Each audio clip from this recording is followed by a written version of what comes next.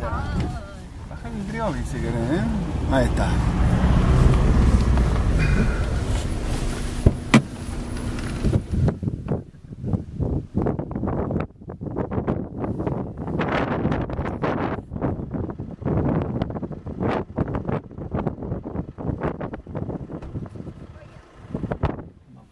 Vamos.